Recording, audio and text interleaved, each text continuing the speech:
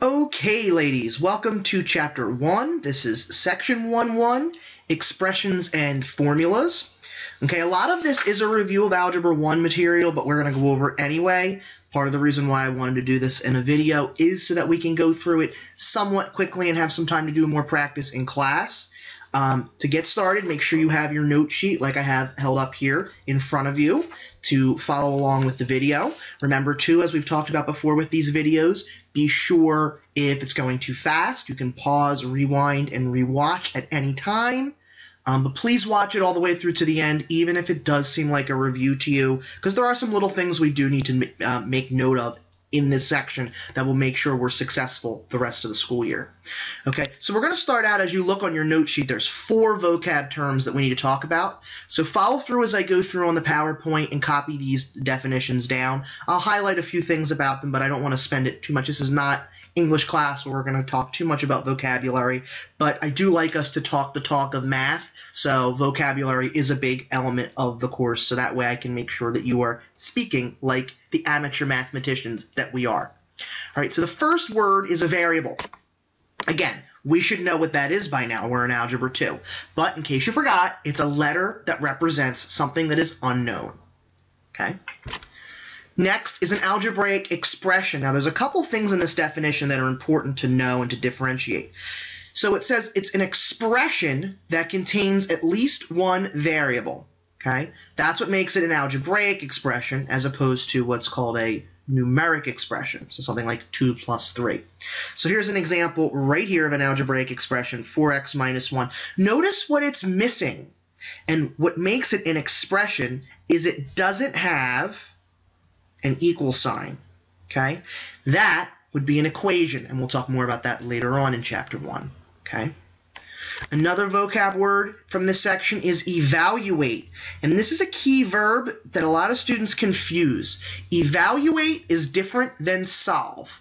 Evaluate means I give you a number, right? We replace each variable of an expression with a number and then simplify using this is the big key thing, the orders of operations, which we'll talk about in a couple seconds. Okay? Evaluate is different than solving.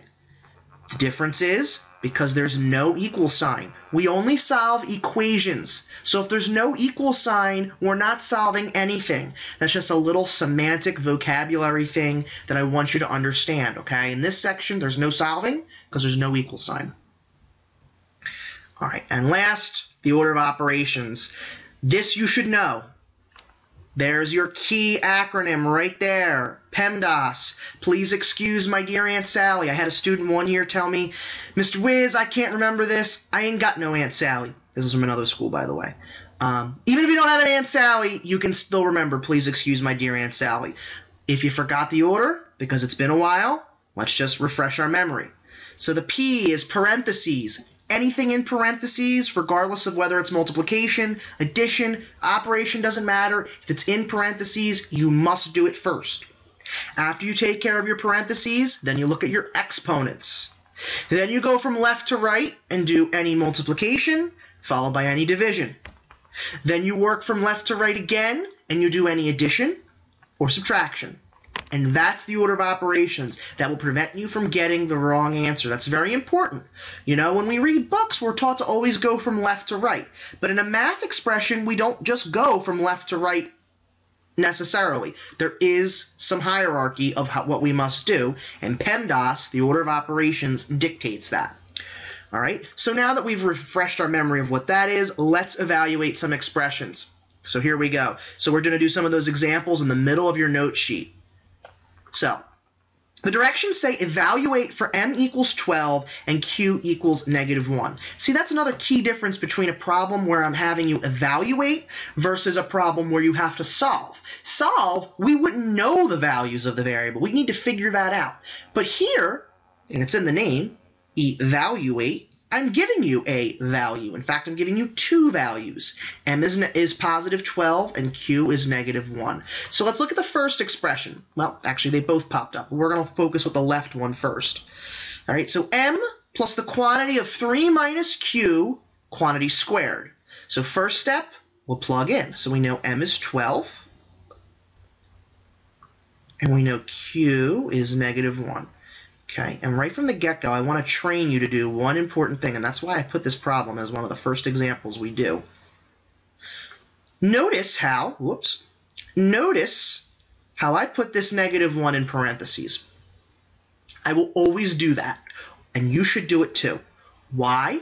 Because I always want to remember the difference between this being a negative sign and that being a subtraction. Also, why do I do it?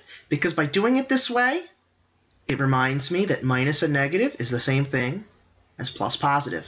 So now let's do our order of operations. We'll start with what's inside the parentheses. We'll add 3 plus 1, and we'll get 4. Okay, so that was our p. Next thing we'll do is we'll do our exponent, e. We'll do 4 squared, so that's 12 plus 16.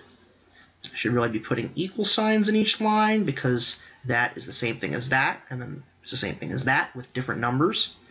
So 12 plus 16 is 28. We skip the m and the d because there's no multiplication or division at this point. We just go right to the adding. All right, let's look at the second example. So now it's a little bit more complicated, a few more operations. We have m divided by 2q plus 4. So m is 12, and q again is negative 1. Again, I don't want to forget or confuse myself with negative versus subtraction, so I put parentheses here. All right, so we go from left to right. Even though they are parentheses, there's really no operation in there, so there's no parentheses in the whole problem. There's no exponents, so we'll go from left to right and multiply. Multiply right there. 2 times negative 1 is negative 2, so we'll do that. Now we go left to right looking for division. 12 divided by negative 2, that's negative 6. Negative 6 plus 4, negative 2. So this expression carries a value of negative 2 when m is 12 and q is negative 1. All right, we have a couple more tougher examples, numbers 3 and 4 on your sheet. It's tougher because, well, there's three variables, and now I'm being a wise guy and sticking in a decimal for one of my variables. So A is negative 2, B is 3, C is 4.2, and these are the expressions we're going to evaluate. So we'll look at this first one here. This is number 3 on your sheet the quantity a squared plus 4c over 3b plus 2a. Now, when you see a big expression on either the top or bottom or both of a fraction, here's what I want you to think. There's actually a hidden operation in here, and this is important for order of operations. Each of the numerators and denominators are actually containing parentheses.